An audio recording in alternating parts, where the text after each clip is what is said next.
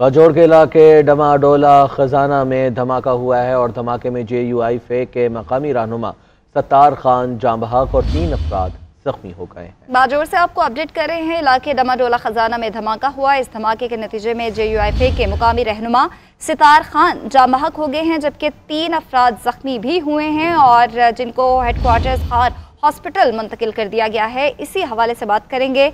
शाहिद हमारे साथ मौजूद हैं। शाहिद बताएगा।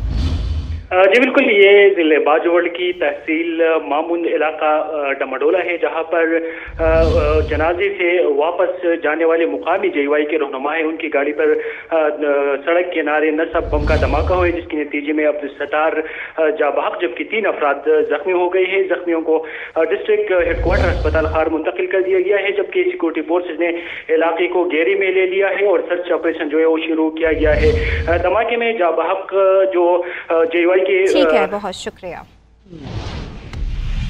ब्रेकिंग न्यूज़ आपको देंगे चेयरमैन